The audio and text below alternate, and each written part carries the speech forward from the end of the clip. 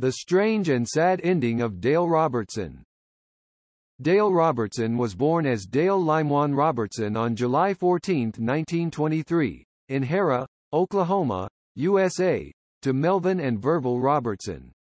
He studied at Oklahoma Military Academy where he was a professional boxer. During the World War II, he served in the military in Europe and was wounded twice. Dale Robertson made his movie debut with an uncredited role in the 1948 film The Boy with Green Hair. He soon got featured roles alongside Randolph Scott in Fighting Man of the Plains and The Caribou Trail. He eventually signed to 20th Century Fox and appeared in their first project, a western titled Two Flags West, which released in 1951. In 1951, he had leading roles in Take Care of My Little Girl where he featured as Jeanne Crain's love interest as well as in Golden Girl, a movie loosely based on the life of popular entertainer Lotta Crabtree. Robertson next co-starred in the Western Return of the Texan with Joanne Dru. During this time, he also did the films The Outcasts of Poker Flat and Lydia Bailey. In 1953, he played Betty Grable's love interest in the western The Farmer Takes a Wife and also featured in City of Bad Men. The actor was cast in the western Sitting Bull, 1954, a fictionalized flick which depicted the war between the American forces and Sitting Bull, resulting in the Battle of the Little Bighorn. He next starred in the adventure film Top of the World alongside Evelyn Keyes, Nancy Gates, Frank Lovejoy, Paul Fix, Peter Hansen and Robert Arthur.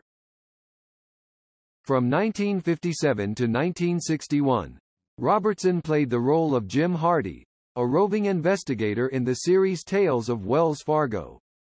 During this time, he also made a guest appearance in NBC's The Ford Show.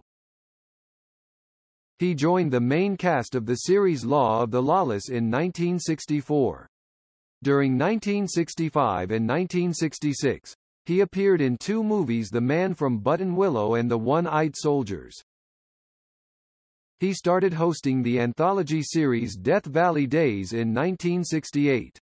In the 1970s, the actor portrayed FBI agent Melvin Purvis in two TV films, namely, Melvin Purvis, G-Man and the Kansas City Massacre. In 1981, he featured as Walter Lankershim in the first season of the soap opera Dynasty. Two years later, Robertson appeared in a television pilot titled Big John. He played the titular role in the crime drama J.J.